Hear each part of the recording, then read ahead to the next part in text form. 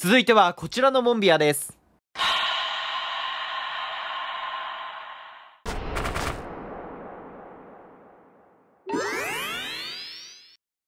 あルシファーかバリアには2ヶ月しか実装されてないレアバージョンが存在した。それではこちらが確認の VTR ですルシファーで初めて登場したこのバリア。今では美しい六角形に包まれているこのバリアだが、2ヶ月のみしか実装されてないバージョンがあるという、1人で何役もやって、俺何やってるんだろうと思っている黒蜜橋に話を聞いてみた。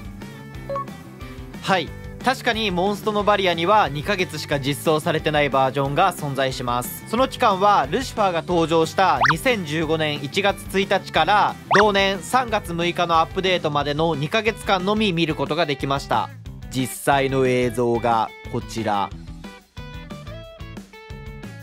重力バリアじゃん。ただの重力バリアだった。見た目は違っても重力バリアみたいに減速することはありませんでした。ちなみに私は鬼ごっこ中に捕まりそうになるとバーリアっていうやつがこの世の何より嫌いでした。